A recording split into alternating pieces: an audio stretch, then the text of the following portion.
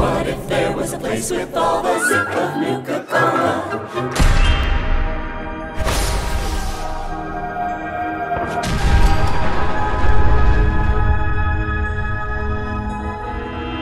Welcome ladies and gentlemen to Nuka World Fallout 4's last DLC. This video is going to be a kind of triple guide. First of all, how to find the 10 hidden cappies within the Nuka World Park. Secondly, how to get the unique Nuka World jumpsuit. And finally, how to get the unique Nuka Nuke launcher modification for the Fat Man, along with the recipe to make the ammunition the Nuka Nuke. And of course, to do any of the stuff in this video, you will need the Nuka World DLC installed. And I do apologize if I sound funny, I'm a bit sick. I suppose you could say I have a Nuka colder. So when we enter the Nuka town for the first time, we will find the Enigma from the Twitch stream. Yes, it's her boys, Sierra Petrovita. On the world map, she can be found in Nuka Town, USA, just to the south of Fizztop Grill. And on the local map, her position looks like this. So once we find Sierra, one of our favorite characters from Fallout 3, we of course want to talk to her. And when the options do come up, you of course want to say that you will help her, and that she can trust you. Haha, it's funny because we both know that's a lie. But after we convince her that we are friendly and we're trustworthy, she will reveal to us her secret mission to find the 10 hidden cappies within the Nuka World Park. And this will give us the quest, Cappy in a Haystack. Now she will also give us her Cappy glasses, which we must be wearing to properly see and interact with the hidden cappies within the park. And they also look amazing. If you don't have the glasses on and you find a hidden cappy, this is what it will look like and you will not be able to interact with it, therefore not being able to progress with the quest. So be sure to put the glasses on. Now our first hidden cappy can be found inside Nuka Town, USA as well, just to the southwest of Fizztop Grill. On the local map, its position looks like this, right where my character is currently standing. Tucked away in between these two buildings on the wall, of course, we will find the first cappy symbol. Now make sure that you click on it when you find it. This will log it in the quest as found. Next we need to head to Galactic World, and this one can be found just to the southwest of Starport Nuka. On the local map, its position looks like this. Of course, found where my character is standing. So once we get here, we want to go behind this set of stairs on the left. Once under it, we will find the S Cappy symbol on the wall here. And again, be sure to click on it to log it in the quest. The next one on the world map can be found between Robco Battle Zone and Galactic Zone. And on the local map, its position is right here. Once we get here, before heading into the space walk, turn to the left and next to the bins, we will find the next Cappy symbol. As always, be sure to click on it. For the next we need to head to Safari Zone. And this fourth hidden cappy can be found right at the Safari Adventure Primate House. On the local map, its position is right here, tucked away in the hedges. Once we get here, the hidden cappy is actually behind the statue of their king, Harambe. And here it is tucked away in the bushes. As always, be sure to activate the old N cap. Next, the fifth cappy can be found inside the maze. On the world map, it is found right between these three map markers, and on the local map, its position is right where my character is standing up against the wall. Be sure to click on it to activate it. For 6 and 7, we will have to come to Kitty Kingdom. And for number 6 specifically, on the world map, we will have to come just to the southeast of the Kitty Kingdom map marker. And on the local map, we need to specifically come right where my character is currently located. Here we will find this big tower and on the top floor of this tower up against the wall is the I Cappy symbol. Click on it to log it. For Cappy number 7 we will need to come to the fun house. Again it is located within Kitty Kingdom but it has its own map marker so it is quite easy to find. Now this is a very very long experience but at one point we will get to the swirling green room with doors from the trailer. This is the room we need to be in to find Cappy number 7. Once in the swirling room we need to head into the smaller room, the same one in which my character is currently standing. This is the room that has the Cappy in it. And hidden behind the red door is, of course, the Cappy F. Click on it to log it for the quest. For Cappy number 8, we need to come to the World of Refreshment. Again, it has its own map marker. Once we get here, we need to head into the Nuka Quantum River Tunnel. Once in here, up against one of the wooden structures will be the Cappy R. As always, click on it to activate the little bugger. And on the local map, Cappy R can be found where my character is currently standing up against the western edge of the Nuka Quantum River. For 9 and 10, we need to come to Dry Rock Gulch, and for number 9, we need to come to the southwest of Doc Phosphate's saloon. Here, we will find a graveyard, and on the backside of this gravestone is the E Nuka Cappy dude. As always, click on it to activate it and log it in for the quest. And in case you can't find it on the local map, it can be found exactly where my character's standing. Now, the final Cappy is a little bit of a pain in the ass to get, but the quickest way to get it is to find Sheriff Eagle. He can be found right here on the world map as soon as you walk through the gates to Dry Rock Gulch. Once we find him, you need to speak to him and agree to become the new deputy to clear out Mad Mulligan's mine. Or as he says it, Mad Mulligan's mine.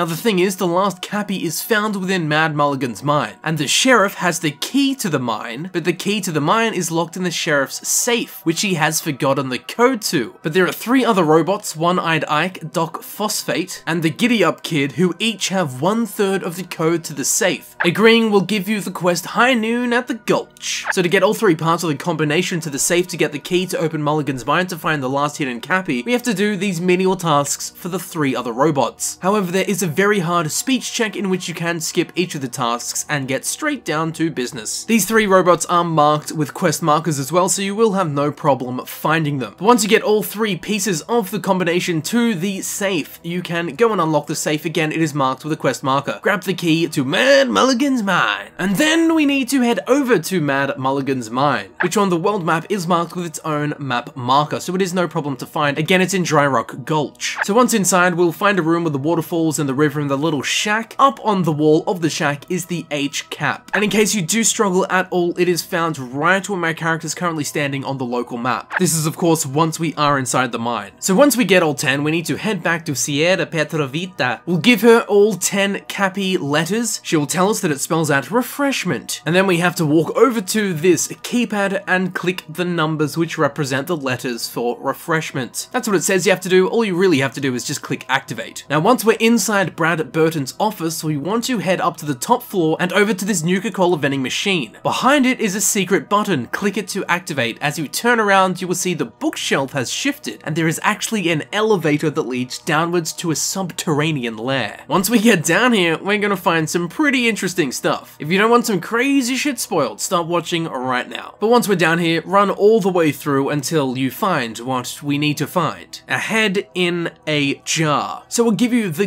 guts of what's going on. This head in a jar is a guy named John Caleb Bradberton. He is the man who created Nuka-Cola in the pre-war Fallout, of course. He was searching for immortality and I suppose in a roundabout way got it by becoming a head in a frozen jar. Not quite what he was looking for. Now because he's been in a head in a jar for 200 odd years, he wants to die immediately. And for him to die, you need to make the choice to turn off the power. Turning off the power will kill him, but it will do something else. It will open an otherwise inaccessible vault door. Within this vault door is the Nuka Nuke launcher modification for the Fat Man, the recipe for Nuka-Cola, and also the schematics for creating the Nuka Nuke ammunition for the Nuka Nuke launcher modification for the Fat Man. But on the other side of the penny, Sierra Petrovita has been idolizing this man her whole life, and she does not want you to kill him. So if you choose not to kill him, she will reward you with a limited edition super rare, I'm assuming in game an actual unique piece of clothing or apparel, the Nuka World jumpsuit. So that's the situation you are left in, you can get one or the other. Also just quickly, if you try and pickpocket Sierra Petrovita, the Nuka World jumpsuit will not be in her inventory, so the only way to get it is to appease her during the quest. Now there is actually a way to get both. First of all, you have to accept Sierra's offer and agree not to kill Bradberton. After all, she has spent her whole life idolizing him. So once you complete the quest by doing that,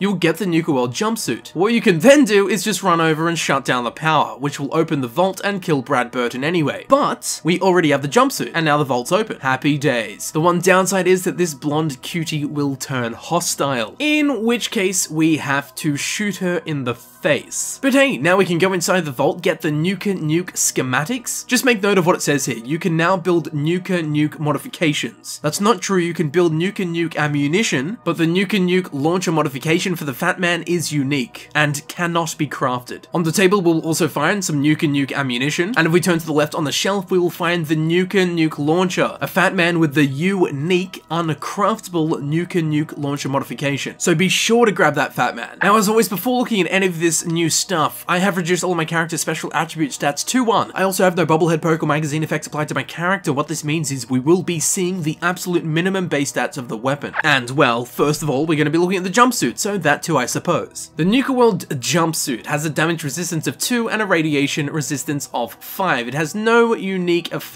All it has is a unique skin, so if you are going to choose one or the other, I would not choose this personally. From the back, it looks like this. It almost looks a bit more orange than red, but hey, I suppose all the reds in Fallout are actually quite orange. And from the front, it looks like this, with of course the cappy glasses still on. Why? Because fashion. So now when we head to a chemistry station, we will find the Nuka Nuke ammunition as a craftable option. When we get here, as we can see on the right, to make it, you need one mini nuke and one Nuka-Cola Quantum. And in my opinion, and I am sure soon to be your opinion, it is well worth the sacrifice. Now, as we can see here, the Nuka Nuke launcher is a modification that can be taken off the Fat Man that it's put on. As we can see, it is here in my inventory, the Fat Man Nuka Nuke launcher mod. Now, I'm going to drop it on the ground so it is not in my inventory. Then, when we head back to the weapons workbench, as you can see, I cannot craft a Nuka Nuke launcher modification. So, this means that yes, it is a unique modification that you can only get one of. So, as we can see here, the standard launcher does 535 damage, and the Nuka Nuke launcher does 794. That's a 33% increase in damage already. So let's take a look at the Nuka Nuke launcher modification for the Fat Man. It has a base ballistic damage of 794, which is of course explosive damage too. Its ammunition is the Nuka Nuke. It has a fire rate of 1, its range is 117, its accuracy is 63, its weight is 36, and its value is 650 caps.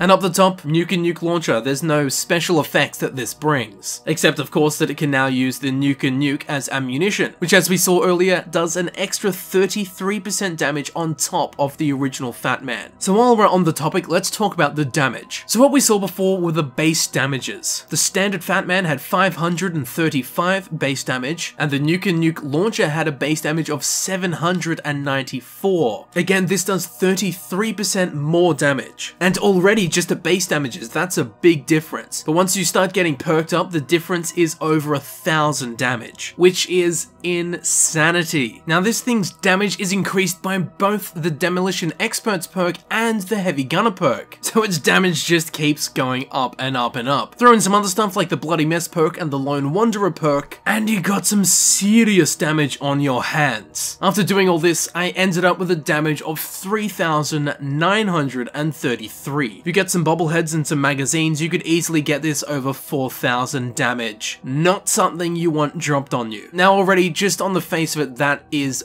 pretty freaking nuts. You are pretty much guaranteed to wipe out anything you hit with this. But because the Nuka Nuke launcher is a modification, it can be applied to any Fat Man of your choice. So what you can do is go and find your favorite legendary Fat Man, stick this on it, and you will have a lot of fun and experimentation to do. One that is springing to mind is the unique Fat Man named Big Boy. A guide to that can be found in the description, but what this is, it is a two-shot Fat Man, so it shoots two bullets at the expense of one ammunition. So if we apply the Nuka Nuke launcher to say the big boy, we're going to be shooting two warheads that are going to be doing about 4,000 damage each, again at the expense of only one ammunition. So essentially, theoretically and quite simply, we're going to be hitting whatever we hit for 8,000 damage. Of course, not taking into consideration nuke spread or enemy damage resistance or anything like that, but even if you are just shooting a tank, it's going to have 8,000 damage to deal with. So if it wasn't a one-shot solution beforehand, well now I suppose it's a half a shot solution because it's twice as good. But overall, at the end of the day, whatever a Fat Man can do, the Nuka Nuke launcher can do it 33% better. And although it's not a weapon for everyday use, if you ever do need something to die straight away, or in a very, very dramatic manner, the Nuka Nuke launcher is an excellent candidate. It will explosively launch you into your demolition career, and it will always quench all of your bloodthirst. It's one hell of a quantum weapon. And here it is, the Nuka Nuke launcher in action.